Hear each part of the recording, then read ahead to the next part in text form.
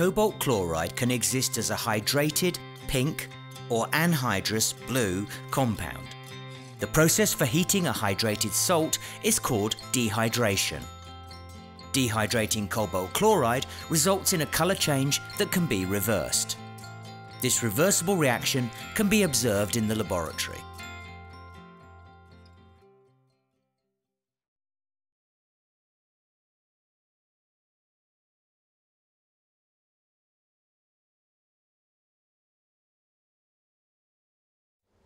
First, hydrated cobalt chloride is put into an evaporating dish.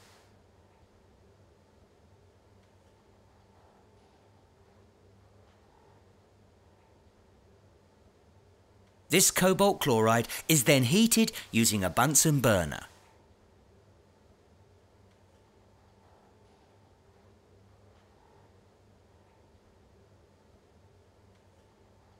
As the solid is heated, a colour change is observed from pink to blue.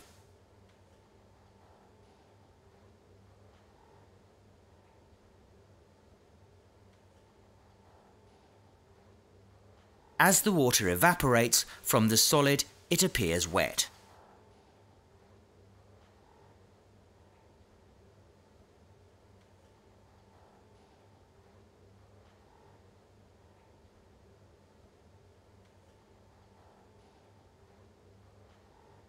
The evaporating dish is then cooled in a desiccator for 5 minutes. The desiccator is used to prevent the cobalt chloride absorbing moisture from the atmosphere.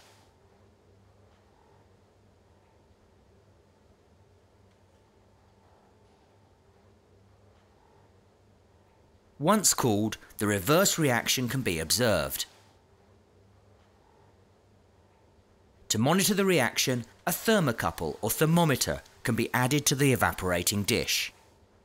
To reverse the reaction, water is added to the solid, which then appears pink. The addition of water causes the temperature to rise. Therefore, this reaction is exothermic.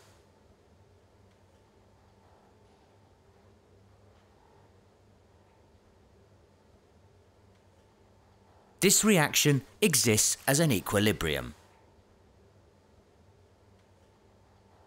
Many of the reactions we observe are forward reactions. This means they move from reactants, left, to products, right. In a reversible reaction, the forward reaction takes place. After some product has been made, the reverse reaction also occurs. When the rate of the forward reaction equals the rate of the reverse reaction, we call this equilibrium. This is the correct symbol to use for an equilibrium reaction. In the cobalt chloride example, this reaction is useful as it is used as a definitive test for the presence of water.